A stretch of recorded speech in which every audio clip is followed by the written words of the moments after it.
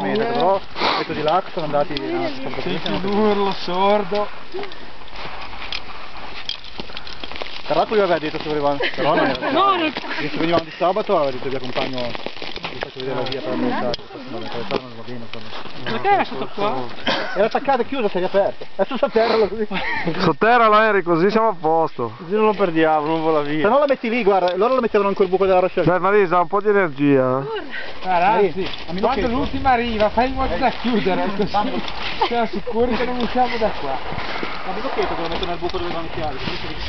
Là c'è un buco. No, più che altro bisogna toglierla di là dietro. Prima che lui lo sotterri. Ah, perché poi se cade giù lo sportello e ricade la neve non usciamo più.